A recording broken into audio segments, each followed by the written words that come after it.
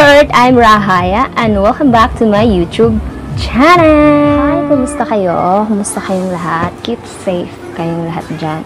And for today's video pala ay pag-uusapan natin ang Kilay is Life. Ayan. Makikisabay tayo sa Kilay is Life.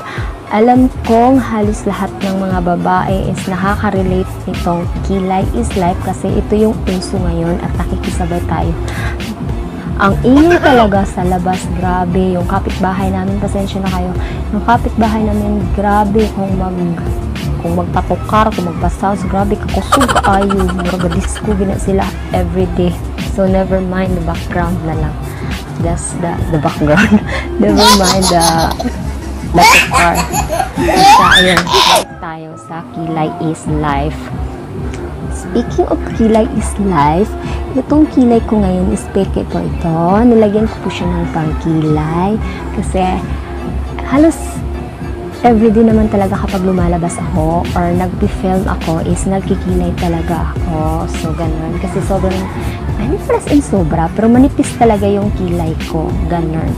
So, may isang product ako na uh, i-review or um, ipapakita sa inyo ang result. Actually, itong product na to, hindi na siya trending ngayon. Ay, tumatalsik yung kaway ko. Um, nag-trending siya noon, mga one year ago na ba siya nag-trending. Basta matagal na. So, pagka-trending niya, dahil nga sumasabay tayo sa Kilay is Life, bumili ako nito ng dalawa. At naisipan ko, hindi ko muna siya gawa ng review kasi hindi naman talaga nakikita agad-agad yung result. So, gusto ko palipasin muna siya ng ilang buwan bago ko ipakita yung result kung meron ba talaga or wala. So, alam kong alam na ninyo kung ano ang product na to na tinutukoy ko. Asa na ba yun?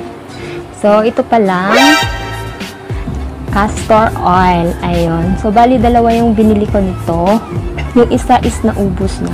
Um, matagal naman talaga siyang maubos. Kaso lang, yung sa akin is, ginamit ko siya dito sa ulo, sa buhok ko. Oh, no!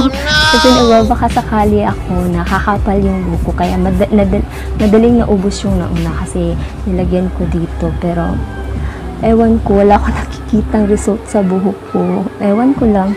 Pero hindi naman talaga yun yung habol ko. Ang habol ko talaga is yung ma-achieve ko yung kilay ni Andrea Brillantes. Wow, ang tas ng pangarap ko mga bache, ganun. O, di ba? Kahit kayo din naman, di ba, naiingit sa kilay ni Andrea Brillantes kasi sobrang kapal at sobrang ganda ng form ng kilay niya. Pwede na siyang hindi maglagay ng kilay kahit saan siya pupunta. Ba? Nakakaingit. So, yun yung, excuse yun yung gusto kong i-achieve talaga yung kilay ni Andrea ah, ni Andrea Brillantes. Pero I think hindi ko siya nakuha kasi kahit ngayon nga ayan na nakakilay ako is hindi.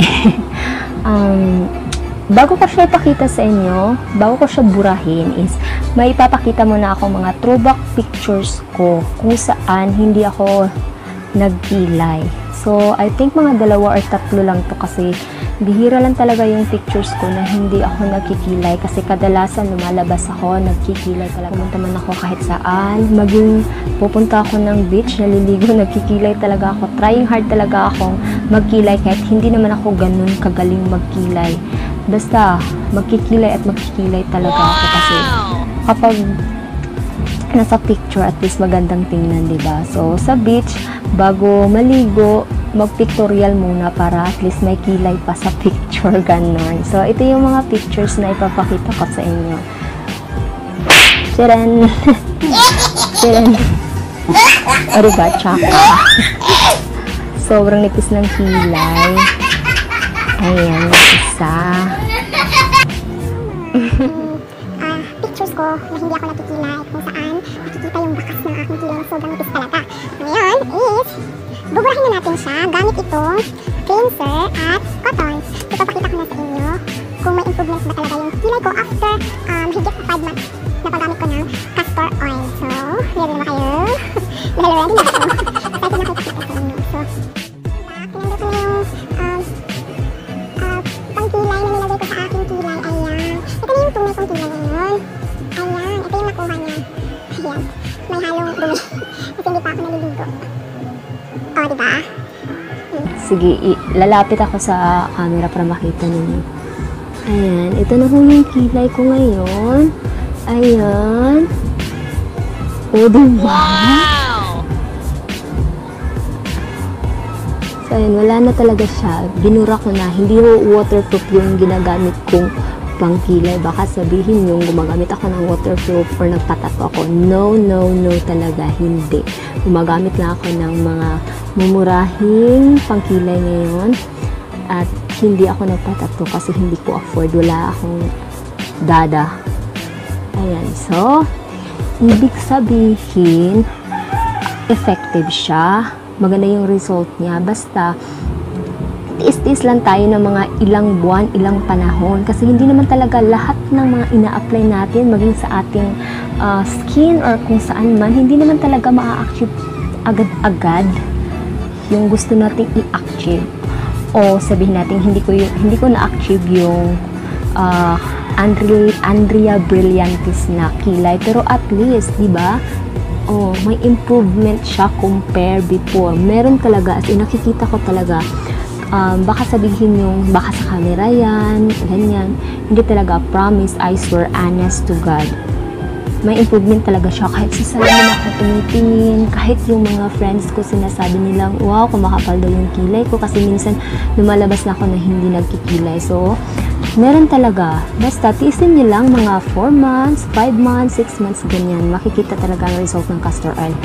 So, bali kung gusto niyo bumili nito, nakalimutan ko na kung saan ko siya nabili. Basta sa online lang. Nabili ko siya ng 85 pesos. So, dalawa yung binili ko. At sabi nila may fake day dito at merong original. At hindi ko naman alam kung saan ang fake at alin ang original kasi wala naman siya nakalagay as in ganito lang talaga plain lang talaga siya so kung gusto kung nagustuhan niyo itong result ng kilay ko kung feel niyo is satisfied kayo sa ganitong kilay na na-achieve ko gamit itong castor oil castor e- oil is gamitin niyo itong ganito ito parang hindi siya plain white talaga hindi siya clear white yung kulay niya ayan ay ang dumi ng kuko ko sorry. Ayan. Kasi meron kasi ako nakikita di iba nito na sobrang sobrang clear. Parang crystal clear talaga. So, yun yung pinili ng iba. So, ako, napagulan talaga ako dito.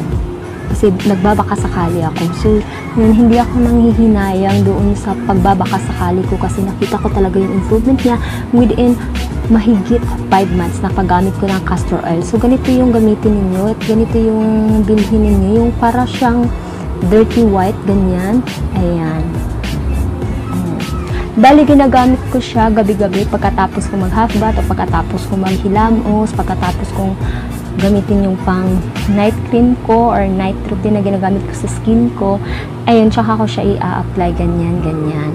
Sa iba, ginagamit naman siya dito sa pilik mata, pero ako hindi na kasi natatakot ako na baka mapasok siya sa mata ko, baka may chemicals, baka ikabubulag ko. So, iniiwasan ko na lang. Dati nga, nilalagay ko siya dito sa buhok ko pero I don't think so kung may improvement ba sa aking buhok. Ang nakikita ko lang is yung kilay ko hindi naman siya perfect kasi hindi ko na-achieve yung yung kilay ni Andrea Brillantes. Pero at least satisfied ako kasi kumapal talaga yung kilay ko. Ito talaga yung normal na kilay ko ngayon ayan is, lalapit ko siya sa camera ayan. Ayan so diba compare niyo yung pictures ko before at ngayon sobrang meron talaga. Basta tiis-tiis lang talaga tayo. So ayun lang. I hope uh, nakatulong ako sa inyo at nakapagbigay ako ng idea sa inyo about dito sa castor oil na nag-trending before at ngayon ko lang ni-reveal yung result niya. So, I hope you guys like my video and if bago ka lang dito sa YouTube channel ko, don't forget to subscribe at pakiclick na lang yung bell button para updated ka sa mga susunod na videos na i-upload ko. See you on my next vlog and keep safe everyone. God bless. Bye!